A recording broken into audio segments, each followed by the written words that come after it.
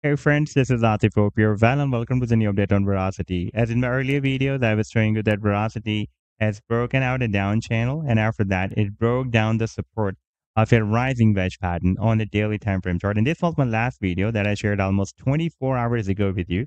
Now if we take a look at the live daily time frame chart, then you can see that after the breakdown from this wedge, the price has almost reached the target for this breakdown that was here at the bottom of the wedge, approximately at $0.0027. And in today's video, we will analyze this move. And I would also like to show you once again this very massive breakout that has happened on the seven days time frame chart from this big and long-term falling wedge pattern as well.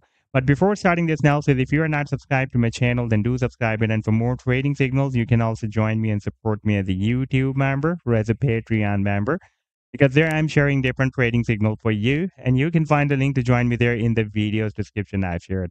And if you would like to see how my trading signals work, then I've also shared the link for the trading signal report for the previous month of July 2024 in the video's description. You just need to open that report and if you would like to check or verify any trading signal like the trade setup for RadWorks, you just need to click on the link for the trade setup and it will take you to the TradingView's chart. And on this chart, you can see when I shared this signal, like this trade setup I shared on 1st of July 2024. And you can also watch the complete trade setup as well, like this was the buying zone and the sell target zone and the stop loss. And in order to see how the price line moved after sharing this signal, you need to click this button. And after that, it will show you how the price line moved up from the buying zone and read the sell target zone.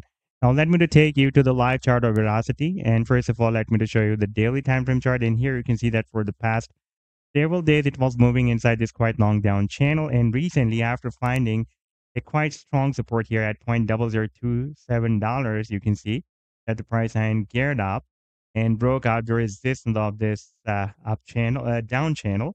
And while moving inside this channel just before the breakout, the price line also started the formation of this rising wedge pattern as well. And I was telling you that this is the bearish bias pattern. Therefore, there is a probability that the price line may break down the support of this rising wedge pattern.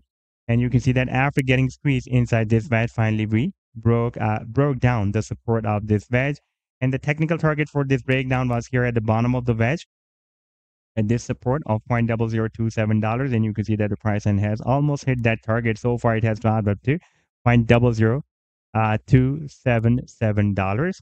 And now we, there is a probability that we may see some price accumulation here before the next move to the upside from here, or it is also possible that the price line may move slightly more down to test the support, the previous resistance of the channel as a support, and then we may see another price reversal to the upside. Now, if we take a look at the technical target for the breakout from this down channel, that technical target is by the way here at the top of the channel, approximately at 1.6 cents.